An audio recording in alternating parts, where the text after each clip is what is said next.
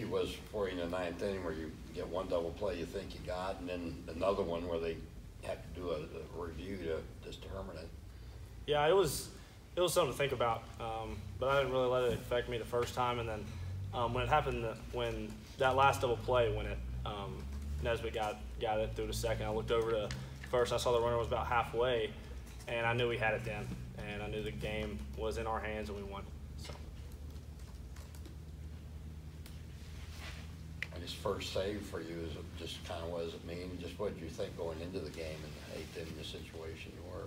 man, it was something special. Um, I've, I've that was the first time me saving here, and it was really an honor to be able to come out there on that mound and get that win for the Hogs.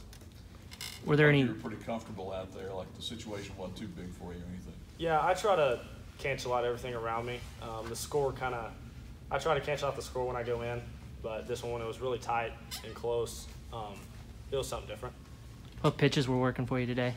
Um, I have my fastball and curveball working for me today. Um, usually my curveball with lefties are, I have a little bit of trouble with it, but today it was on. How tough that first first walk to lead off the ninth to shake off, and how close you know did you feel you were getting to getting the guy? Uh, I mean, I felt pretty close. Um, I was confident in my pitches to execute them and get people out, and I mean, I knew I was going to get them out. Any worries that when he reached the you know lead off walk, or you just able to put it? No, no worries. Um, it was really, uh, again, I was, I was confident.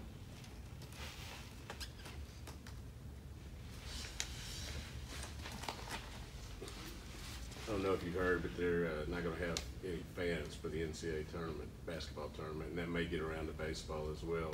How weird would that be if you uh, you show up for a college game and, and you know there's no fans? Um, it would be a little weird just seeing all these fans out here in the spring, but um, we had a whole fall when there was nobody in the stands, so I feel like we'd play the same, play with the same mentality we always do. Anything else? Thanks, Ben. Yep.